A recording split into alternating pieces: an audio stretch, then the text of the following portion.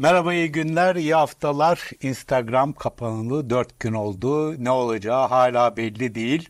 Bakalım açılacak mı, açılacaksa ne zaman açılacak? Bütün bunları İstanbul Bilgi Üniversitesi'nden Profesör Yaman Akdeniz'de konuşuyoruz. Yaman merhaba. Merhaba Rüşen abi. E, dört gün oldu. Sen en son uzun bir e, sosyal medyada paylaşım yaptın. Bakıyorum bakıyorum hakikaten hala neden kapandığını bilmiyoruz değil mi? Evet, e, kamuoyuna e, yapılan açıklamalar e, Ulaştırma Bakanı, Bakan Yardımcısı tarafından e, söylediklerinden pek bir şey anlaşılmıyor. Şimdilik Instagram yani Meta tarafından da bir e, resmi açıklama e, yapılmış değil. Fakat benim anladığım kadarıyla e, bugün gün içinde bir açıklama e, yapmayı planlıyorlar. E, çünkü bu iş e, her iki tarafında e, tahmininden e, daha uzun e, sürdü. E, yani e, dünyanın herhangi bir yerinden Instagram gibi bir e, platforma dört gün boyunca e, sansür uygulaması tabii ki asla kabul edilebilir bir uygulama değil. Peki şimdi e, e, biraz adım adım gidelim. E, kaç milyon kişi söz konusu Türkiye'de Instagram takipçisi ya da şey yapan, kullanan? Valla resmi rakamları bilmiyorum ama e, işte 50 milyon e, falan deniliyor. Bir de tabii daha sosyal bir e, platform olduğu için ve Facebook'tan da çok fazla transfer olduğu için Instagram'a özellikle pandemi sonrası yani 7'den 70'e diyelim şey e, Instagram'ı hepimiz e, kullanıyoruz. Çevremde de tabii e, çok soran var e, ve tabii sadece sosyal amaçlı değil Instagram e, yine pandemi döneminde başlamak üzere ticari anlamda da e, kullanılıyor. Sadece reklam anlamında değil e, bir alışveriş e, platformuna da Oradan satış yapanlar var. E, gelir elde edenler var. E, ciddi gelir kaybından e, bahsediliyor. E, işte günlük 2 milyar e, TL gibi rakamlar, e, açıklamalar var. O bakımdan e, tabii ki e, etkilenen kitle e, çok yüksek. Bir de tabii Türkiye'deki yabancıları, turistleri de unutmamak lazım. Yani şu anda Türkiye'de bulunan herkes e, Instagram e, yasağından etkileniyor. Peki bu VPN uygulamasıyla giriliyor. VPN meselesi biraz karışık bir mesele. Siz yayınladınız. Türkiye'de birçok VPN e, sağlayıcısı da yasaklı. Ama yine de birileri kullanılabiliyor. VPN'in e, sorunlu olabileceği söyleniyor. Bu nedir tam olarak?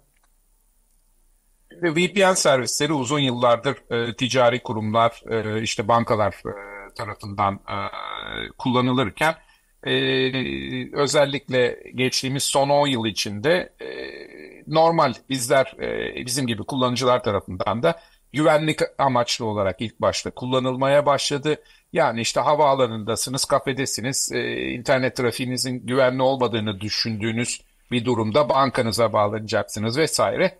E, VPN servislerini kullanmaya başladık. Ama tabii Türkiye'de özellikle 2014 e, Mart yerel seçimleri sırasında önce Twitter arkasından YouTube'un engellenmesiyle ve o süreçte hatırlayacaksın e, biz e, Kerem Altıparmak'la birlikte Anayasa Mahkemesi'ne e, başvurmuştuk. E, kararı çıkmıştı o dönemde. O dönemde çok popüler oldu Türkiye'de VPN kullanımı ve ara ara da bu sosyal medya platformlarının özellikle Wikipedia'nın erişime engellendiği dönemde yine e, Türkiye'de e, VPN kullanımında artış gördük.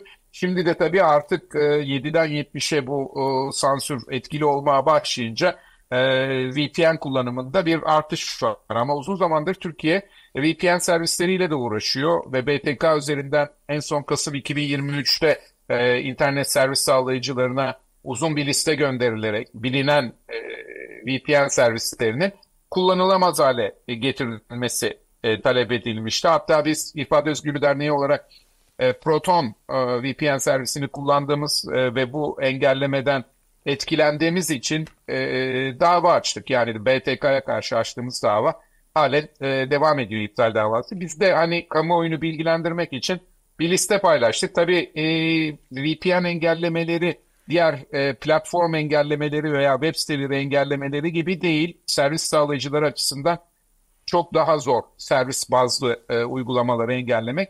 Onun için tabii şimdi kullanıcılardan haklı olarak biz de işte ben kullanabiliyorum, şu çalışıyor veya bu çalışmıyor gibi mesajlar alıyoruz ama hani e, Türkiye'de VPN'in VPN servislerini kullanmak da eskisi kadar kolay değil. E, buna vurgu yapmak istedik sadece. Şimdi e, baktığımız zaman Instagram bir Twitter ya da yeni adıyla X gibi bir platform değil. Siyaset öne çıkmıyor. Daha e, bahsettiğin ticaret boyutu da var. Çok daha özel, evet. sosyal bir haberleşme aracı aynı zamanda. E, ve bu tamamen siyasi bir karar. Onu görüyoruz. Siz, senin yaptığın paylaşımda katalog suçlar denince Türk Ceza Kanunu'ndaki katalog suçlar değil. Burada ayrı bir sistem var. Onu evet. belirtiyorsun. Ve en son e, yapılan açıklamada Meta'nın yaptığı açıklamada içeri kaldırma talepleriyle evet. ilgili yaptıkları açıklamada da görüyoruz ki aslında e, kendilerine olan başvuruların bir kısmını e, zaten kendilerine de kendi ilkelerine de aykırı olduğu için kaldırıyorlar ya da Türkiye'de erişimini engelliyorlar kendileri merkez olarak. Şimdi böyle bir sistem zaten varken niye e, böyle bir toplu bir kapatmaya gidilmiş olabilir? Yani aynı sistemde şu şu içeriklerden rahatsızız deyip e, onları kapatılmasını sağlayabiliyorlardı. En, yani erişimin engellenmesini sağlayabiliyorlardı. E, ne olmuş olabilir? O zaman haniye meselesi yani var olanı kaldırmaktan ziyade kaldırılanı koydurmak istemi galiba e, söz konusu. Ee, Ruşen abi siz konuyu çok iyi anlamışsınız. Ee, bana da pek söyleyecek bir şey kalmadı. Ama şöyle açıklayayım. Ee, şimdi bu benden başka kaç kişi bu şeffaflık raporlarını okuyor onu da bilmiyorum ama 6 ayda bir bütün bu platformlar e, şeffaflık raporlarını e, yayınlayıp ha, ne kadar şeffaflar o da tartışılır. E, bence daha şeffaf olmaları lazım ama yani bir e, 2020 Temmuz'unda e, sosyal medya platformlarına Türkiye'de temsilcilik kuracaksınız denildi. Arkasından Ekim 2022 değişiklikleriyle e, daha fazla e, yaptırım e, kendilerine getirildi. Ve dolayısıyla bu 6 ayda bir bu raporları yayınlıyorlar. Raporlardan da e, biz zaten e, BTK ile e, Instagram, Facebook yani Meta ile e, sürekli bir bağlantı olduğunu görüyoruz. E, çok sayıda talep e, e, şeyden gönderilmiş ağırlıklı olarak son 6 ay içinde 1849 tane talep gitmiş BTK'dan.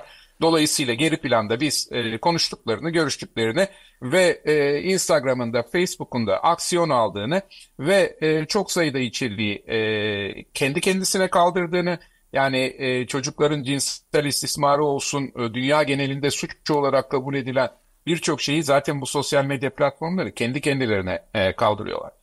Ondan sonra bazılarını e, sadece Türkiye'den e, görünmez e, kılıyorlar. Daha siyasi nitelikli olan e, bazı içerikleri, hesapları e, dünya genelinde kapatmıyorlar. Ama e, Türkiye'den e, görünmez, e, kullanılmaz e, kılıyorlar.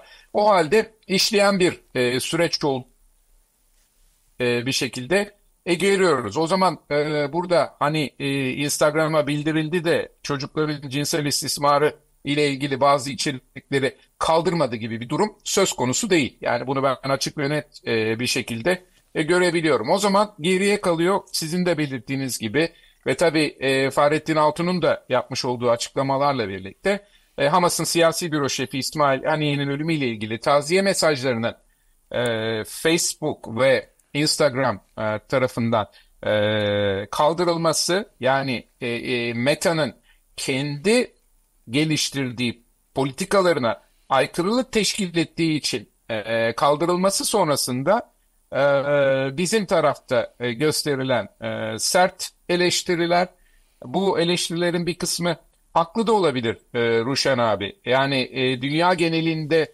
bu e, sosyal medya platformlarının kendi geliştirdikleri sıkıntılar e, var. Ama tabii e, şimdi Facebook'a kızdınız, e, yarın X'e kızdınız. E, bunun karşılığı Türkiye'deki milyonlarca kullanıcının e, bu platformları e, kullanamaz hale getirilmesi asla olmaması e, gerekir diye e, düşünüyorum. Şimdi e, bunu sen seni dinlerken aklıma e, Mehmet Uçum'un dijital küresel e, faşizm tespiti geldi. E, şimdi e, olayı meşrulaştırmak için üretilmiş bir kavram. Sen de bahsettin gerçekten bu tür kurumlar, şirketler çok ciddi e, yanlışlar da yapıyor olabilir ve ulus devletlerin bunlara karşı bir takım cevapları da söz konusu olabilir. Verme ihtiyacı hissedebilirler ama e, topyekun kapatıldığı zaman Türkiye hangi lige giriyor? Şu anda e, sosyal medyada hep böyle bir takım şeyler dolaşıyor. Onlar ne derece doğru? İşte Instagram'ın yasak olduğu ülkeler deyip e, Rusya, Çin vesaire diye 5-6 ülke sayılıyor. Bunlar doğru mu? Şimdi tabii e, bazı ülkelerde engelli, İran'da da bir dönem engellendiğini biliyoruz. E, güncel bir liste e, görmemekle birlikte ben e, benim baz aldığım e, şey Türkiye'nin üye olmaya çalıştığı Avrupa Birliği Türkiye'nin üyesi olduğu işte Avrupa Konseyi ülkelerine baktığımız zaman Rusya değil artık e, biliyorsun. E, dolayısıyla e, Instagram'ı hani engelleyen e, e, ülke durumundayız. Hani bu e, Rusya'nın veya Çin'in veya işte İran'ın Instagram'a engellenmesi, engellemesi e, Türkiye'nin e, engellemesini asla meşru kılmaz. E, biz e, Türkiye e, sürekli bize Türkiye'nin hukuk devleti olduğu hatırlatıyor ki e, zaten olması gereken de o ama e, biz bu hukuk devletinde hukuku en çok e, çiğneyenlerin zaten devlet kurumlarının e, olduğunu e, görüyoruz. Yani e, zaten hani müstehcen bazı içerikler olması veya işte diyelim ki gerçekten katalog suçlardan e, bazılarını kaldırmadı diye de zaten Instagram'ın topyekun engellenmesi asla e, meşru kılınmaz. Kaldı ki hani bu İsmail Haniye meselesine geri dönersek evet e, e, Facebook veya işte Instagram bazı içerikleri e, kaldırmış e, olabilir. Fakat aslında e, bu sistemlerin de kendi içinde itiraz mekanizmaları var. Hatta Meta özelinde şunu da söylemek durumundayım. Yani Facebook veya Instagram'dan kaldırılan bazı e, içerikler e, bakımından iç itiraz mekanizmaları kullanılabilir. Sonuç alamazsanız e, aslında Meta'nın oluşturduğu bir gözetim kurulu var. İngilizcesi Oversight Board yani e, Meta'dan bağımsız e, bir şekilde bir üst kurul, gözetim kurulu oluşturuldu bundan birkaç sene önce ve e, eminim Türkiye'den e, yapılacak olan e, itirazları da gözetim kurulu, oversight board e, ivedilikle e, değerlendirecektir. Daha önce bazı basın kuruluşlarının Facebook'tan kaldırılan e, içerikleriyle e, ilgili olarak yapılan e, başvuruda mesela Facebook'un e, yanlış davrandığı e, konusunda karar almıştı e, gözetim kurulu. Hani bu tip e, mekanizmalar varken e, milyonlarca kullanıcıyı e, yani e, devlet büyüklerimizin e, bazı içerikleri e, sansürlendi veya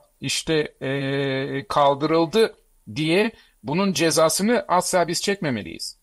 Peki şeyi sorabilir miyim? Bu e, şirketlerin Türkiye'de temsilcilikleri meselesi çok öteden beri olan bir husus. O konuda şirketlerin en son bakan yardımcısının açıklamasında vardı biliyorsun. E, kandırma yoluna gittikleri hepsi olmasa bile bir kısmının söyleniyor ve orada hala bir sorun var anladığım kadarıyla. Meta'nın Instagram ve Facebook'un Türkiye'de e, resmi temsilcilikleri yok mu? Yani bir ofisleri, e, bir takım e, Türkiye Cumhuriyeti vatandaşı ya da başka bir ülke vatandaşı temsilcileri e, yok mu? Bir diğer taraftan da şunu görüyoruz ki bakanın açıklamasında temaslar sürüyor diyor. Belli ki birileri var. Şimdi öncelikle son soruyu cevaplayayım. Evet geri planda e, görüşüyorlar. Bundan benim de e, haberim var. E, ve Cuma'dan beri görüşüyorlar. Zaten hep iletişimleri var. E, Türkiye'deki temsilcilikler meselesine geleceğimiz zaman işte önce 2020'de bir e, yasa, arkasından Ekim 2022'deki yasa. İşte e, ya dediler Türkiye'de e, bir e, gerçek kişi e, temsilciniz olacak. Gerçek kişi temsilciniz olursa onun mutlaka e, Türk vatandaşı e, olması e, gerekiyor o dediler ki muhatap e, kişiliklerde e, adı üstünde e, bir tüzel kişilik oluşturacaksınız dediler. Burada tabii bir e, yasanın etrafından dolaşma e, durumu söz konusu. Yani ticaret sicilinden açıp baktığınız zaman e, bütün bu sosyal medya platformlarının şimdi e, Meta'nınkini tam hatırlayamayacağım ama mesela X e, veya TikTok e, baktığınız zaman evet Türkiye'de kurulmuş bir e, tüzel kişilik var, bir adres de var ama bunlar hani tabiri caiz paravan şirketler. E, e, içeride kimse e, yok. E, yöneticileri kim diye bakıyorsunuz. E, mesela TikTok'un e, Singapur'da kurulmuş bir e, şirket. O şirketin e, yetkili kişisi de İrlanda'da e, bir kişi. Keza işte X'e bakıyorsunuz e, yine evet e, benzer şekilde Amerika Birleşik Devletleri'nde kurulmuş bir e, şirket. O Türkiye'deki tüzel kişinin yetkilisi falan filan. Yani dolayısıyla burada e, gerçek anlamda bir e, muhatap yok. Sanal anlamda e, var e, diyelim. Ama bu e, kurumlarla BTK'nın veya işte bakanlığın e, bir iletişimi e, olmadığı anlamına e, gelmiyor. Fakat tabii ki e, bizimkilerin e, söylemeye çalıştığı biz ne istersek yapacaksınız. E, burada olursanız tabii ki bunu daha kolay e, yaptırırız e, demek istiyorlar. Bu Burada tabii, tabii şöyle bir husus var. Türkiye Cumhuriyeti vatandaşı olunca diyelim ki Meta'nın ya da X'in o kişi e, bir şekilde zor durumda kalıyor. O onun üzerinden pazarlığı kolaylaştırmak istiyorlar herhalde. Benim anladığım o. E tabii şimdi ben Meta'nın veya X'in Türkiye temsilcisi olsaydım e, Bolca'da da herhalde jandarma gelip alıp götürmüştü beni şimdiye kadar. Yani öyle bir ihtimal e, tabii ki e, var e, ve e, kimse de böyle bir pozisyonu e, kolay kolay e, kabul etmez. E, aksi takdirde zaten e, bu tip baskılar e, olmasa bu tip e, gece yarısı operasyonuyla yani saat 03'te Cuma sabahı e, Instagram erişime engellendi. E, bunlar olmasa e, ben tabii bu büyük şirketlerin Türkiye'ye daha fazla da e, inanıyorum. Gerçek anlamda tüzel kişiliklerde oluşturacaklarını e, düşünüyorum. Ama tabii e, şey e, sağlam bir e, hukuki e, ortam e, olmamakla birlikte e, sorunlu bir e, altyapımız var e, bu tip ilişkileri e, yürütmek açısından. E, şunu sormak istiyorum. Daha önceki sosyal medya yasaklarına karşı kamuoyunda baya bir tepki olduğunu gördük. Şimdi çok daha kalabalık bir grup ve hakikaten e, ne olduğunu anlamayan ve baya bir ekmeğini buradan kazanan vesaire yapan insanlar da var. Bireyler şirketlerin dışında ama dört gündür bu yasak var ve ben açıkçası e, ciddi bir tepki falan görmüyorum ya da bir yerlerde yapıyorlar. VPN üzerinden Instagram'a girip oradan mı tepki gösteriyorlar bilmiyorum ama e, sen, e, siz yıllardır bunu yapıyorsunuz. Bu olayı takip ediyorsunuz. İfade özgürlüğü meselesini ve ağırlıkla da sosyal medyadaki yaşanan engelleri e, bakıyorsunuz. Bu Türkiye'deki e, bu engellemeler, devlet eliyle engellemeler tarihinde çok e, istisnai bir durum yaşanıyor şu anda ve bence en çarpıcı yönlerinden birisi insanların çok da normalmiş gibi hatta şey diyenler de var. E ne olacak zaten vesaire falan deyip geçiştirenler de var. Şimdi şöyle 10 e, gün önceye geri gidersek ki ben bunu söylemek istiyorum. E, Wattpad e, platformu Türkiye'den erişime engellendi. Bu Wattpad platformu herkes bilmeyebilir. Okuma yazma platformu. Yani siz de girip ben de girip kitap yazabiliyorum. Okuyabiliyorsunuz. Hatta Wattpad platformu üzerinde yazılan bazı kitaplar sonradan basılmış e, bilinen yayın evleri tarafından Türkçe'ye çevrilmiş yayınlar var. E, Netflix'e dizi olmuş yayınlar, Hulu'da dizi, film olmuş yayınlar var. Pat diye çocuklara zararlı diye Aile Bakanı tarafından engellendi. Biz bu sürece de itiraz edip başvuruları yaptık ama şu ana kadar bir sonuç alamadık. Ben o zaman gördüm özellikle gençler yani Wattpad kullanıcıları X platformuna hücum etti. Çünkü birdenbire e, hayatlarında belki de ilk defa e, sansürle e, karşılaştılar ve etkilendiler. E, ki bu Wattpad platformunun aplikasyonunu iOS'tan e, falan kaldırdılar. Yani e, aplikasyon pazarında falan e, yok. Şimdi de benzer bir durumu ben Instagram'la e, ilgili olarak görüyorum. Çünkü e, hakikaten kullanıcılar ne olduğunu anlamaya çalışıyor e, ve kamu e, bakanlığın yaptığı açıklamalar da yeterli olmadığı için E, benim hafta sonu paylaşımlarım e, hiç bu kadar e, çok etkileşim almazdı e, Ruşen abi. Yani e, ben e, biliyorsun o, o tip bilgilendirmeleri mesajlarını sıklıkla atıyorum ama yani hani siz okuyorsunuz işte basın takip ediyor falan. E, şimdi hakikaten e, en çok soru soran var. E, dışarıda da tanıyanlar yaşlı kesimden Yani senin için çıkartmışlar yasağı. Öyle diyordu ya. Ben, ben aslında tatildeydim güya ama e, işte e, şey yani söylemek istediğim e, bence bir şey var. Kamuoyu ve kullanıcılar bu durumdan çok rahatsız. Ama tabii e, aktivizm yapan bir e, topluluk da değil ve çok değişken. Biraz önce söylediğim gibi yani gençler kullanıyor, yaşlılar kullanıyor, ticari firmalar e, kullanıyor E, ve aslında hani bu siyasi meselelerden biraz arındırılmış bir e, platform e, şey. E, siz de biliyorsunuzdur yani Medyascope'un o, paylaşımları e, daha çok Twitter üzerinden, YouTube üzerinden e, takip ediliyor, o, Instagram üzerinden e, tahminim benim daha az takip ediliyorsunuzdur ama tabii hepsini kullanıyoruz e, bir şekilde. Evet, aynen öyle. Peki e, şöyle bir husus var. Şimdi Elon Musk e, X'i satın aldı ve Cumhurbaşkanı Erdoğan'la da baraya arası iyi biliyoruz. Ama şu anda siyaseten çok angacı oldu. Netanyahu'yu konuşurken kongrede ayakta alkışlayanlardan birisi. E, Trump'a çok açık destek veriyor. Böyle bayağı büyük rakamlar falan. Ve belli ki bu X'te bir şekilde yansıyor, yansıyacak vesaire olacak.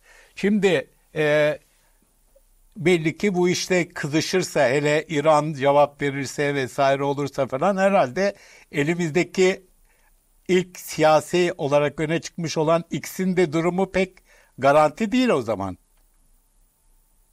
Ve evet haklısın aslında yani söylediklerine ben de katılıyorum. Fakat tabii X ve Meta platformları biraz daha e, farklı. Yani e, X'in e, politikaları e, Meta'nın politikaları kadar gelişmiş e, değil ve X özellikle e, Elon Musk e, döneminde e, daha az e, içerik e, kaldırıyor e, diyebiliriz. Hatta e, bunu da e, eskisi gibi şeffaf bir şekilde kamuoyuyla paylaşmıyor. E, dolayısıyla daha kapalı bir kutuya e, dönmüş olmakla birlikte hani e, şu anda e, meta platformlarında yaşanan e, aslında e, X platformunda e, yaşanmıyor. Dolayısıyla bizim e, devlet büyüklerimizin de X ile ilgili bir şikayeti şu anda yok. Ama tabii e, siyaseten e, bu hafta ne olur işte e, savaş çıkar mı savaş çıkarsa nasıl bir durum e, söz konusu olur e, Türkiye'nin alacağı e, duruş bunları tabii ki etkileyebilir. Biz bunu aslında hatırlayacaksın Ukrayna Savaşı çıktığında da gördük ve Rus kanallarının haber sitelerinin Sputnik dahil olarak mesela aniden ve çok hızlı bir şekilde yine tartışılır bence Avrupa Birliği ülkelerinden görünmez kılınması durumu. E, dolayısıyla şey tabii ki hayatımızın büyük bir parçası olan bu sosyal medya platformlarının e, alacağı e, tavır da e, farklılık gösterebilir. Bu bizim zamanında Rus uçağı e, düşürme olayımızda biliyorsun Rus kanalları evet. burada yasaklanmıştı. Sonra Rusya ile evet. anlaşılınca tekrar gelmişti. Neyse kapatmadan başlıktaki sorumuza gelelim. E, ne zaman açılacak Instagram? Yani ömür boyu kapalı kalmayacak herhalde. Ne bekliyorsun? Açıkçası ben e, iki tarafında e, bu durumdan e, çok memnun olduğunu düşünmüyorum. E, Instagram'ın e, bugüne kadar açıklama yapmamış olması e, durumun çabuk çözüleceğine e, işaret e, ediyordu. E, hukuki bir girişimde de bulunmadılar. Yani normal şartlarda e, Wikipedia'nın veya YouTube'un yaptığı gibi aslında e, hemen derhal e, bir e, dava e, girişiminde bulunabilirlerdi. Demek ki o yola gitmek istemiyorlar. E, benim anladığım kadarıyla e, şey e, bakanlık da e, bu iş e, çok daha fazla e, uzasın e, istemiyor. Ama hangi taraf geri adım atacak veya nasıl uzlaşacaklar e, arka planda e, eminim bütün hafta sonu çalışmışlardır. E, biz ise işte e, bu e, görüşmelerin içeriğinden e, bir haber e, durumda e, yapılacak olan açıklamaları e, bekliyoruz. Ama tabii e, üzücü olan e, hani Instagram e, bugün bile açılsa e, tekrardan e, benzer bir durumun e, yaşanması ve şalterin e, BTK üzerinden e, tekrardan e, indirilmesi e, tehlikesiyle e, ve bunun bilincinde olarak e, yaşamaya devam ediyoruz. Anladığım kadarıyla bir iki gün içerisinde bu iş hallolur ama bu işin garantisi yok diyorsun. Evet çünkü e, ben e, bir uzlaşma olacağını düşünüyorum. Fakat e, iki, iki tarafında e, geri adım atmadığı, atmayacağı bazı e, alanlar olacaktır. Yani öncelikle şunu da hatırlatmak lazım. E, Facebook kendi iç politikaları e, çerçevesinde Hamas'ı bir terör örgütü olarak değerlendiriyor. E, Türkiye ise Hamas'ı tür- bir terör örgütü olarak değerlendirmiyor. Dolayısıyla e, bu e, durum e, bir uzlaşma olsa dahi ortadan kalkmayacaktır. Evet Yaman e, çok teşekkürler. Bir e, bir sabah kalktığı insanlar milyonlarca insan Instagram'ı yokmuş. E, belki her an tekrar gelebilir. Hani ne deniyor?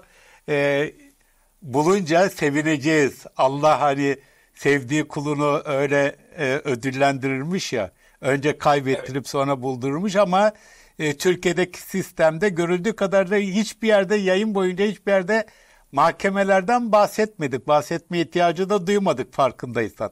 Olay tamamen siyasi yani hukuki bir yönü yok değil mi? Yani e, kağıt üstünde tabii hukuki bir yönü var ama e, adli tatilde olduğumuzu ve BTK'nın aldığı kararın da bir hani hukuken idari işlem olduğunu hatırlarsak e, idari yargıya başvurmak gerekiyor. Başvuranlar var. Biz de belki başvuracağız ama hani bu e, mesele e, adli yargıda e, kolay kolay çözülecek bir e, mesele e, değil. Zaten e, hani Türkiye'deki e, yargının durumunu e, sık sık dile getiriyoruz. E, Dolayısıyla e, bağımsız bir e, yargımız, adil bir e, yargılamamızın olmadığı bir e, sistemde e, zaten e, kolay e, bir e, sonuç alınması mümkün olacaktır. Ha tek istisna belki hani Instagram bunu e, kendisi e, şey yaparsa e, yargıya taşırsa orada bile e, kolay olmayacaktır. E, ama tabii eğer uzlaşamazlarsa e, bunu da değerlendireceklerdir diye düşünüyorum. Evet tekrar çok teşekkürler Yaman. Ee, Instagram dört gündür kapalı. Her an yeniden açılmasını bekliyoruz ama bunun da tamamen siyasi bir süreç olacağını bilerek bunu yapıyoruz. Ortada çok fazla bir hukuk söz konusu değil. Maalesef Türkiye'de zaten ifade özgürlüğü hiçbir zaman gerçek anlamda hukukun alanı olmadı. Ee, İstanbul Bilgi Üniversitesi'nden Profesör Yaman Akdeniz'e çok teşekkürler. Sizlere de bizi izlediğiniz için teşekkürler. İyi günler.